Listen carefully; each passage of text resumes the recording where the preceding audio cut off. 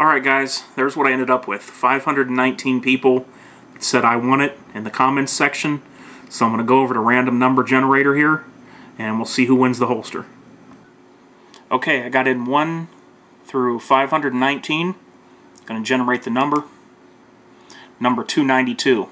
So I'm going to go back and figure out who that is, then I'll let you know. Okay, there's the winner, number 292, Mr. Gun Addiction. So send me your info, man, and I'll get this mailed out to you as soon as possible. Alright, guys, hey, thanks for everybody that uh, participated, and glad to get this out there to somebody to try out. Hope you like it. Later, guys.